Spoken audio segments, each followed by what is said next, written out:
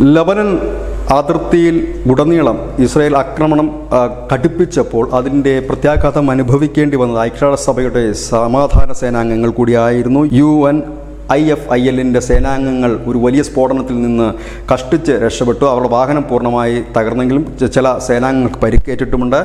മരണ വിവരങ്ങൾ ഒന്നും തന്നെ ഇല്ല എന്നാണ് പുറത്തു വരുന്ന വിവരം. പക്ഷേ ഇതിന് എതിരെ ഒരു അന്വേഷണം തന്നെ പ്രഖ്യാപിച്ചിരിക്കുകയാണ് ഐക്യരാഷ്ട്രസഭ.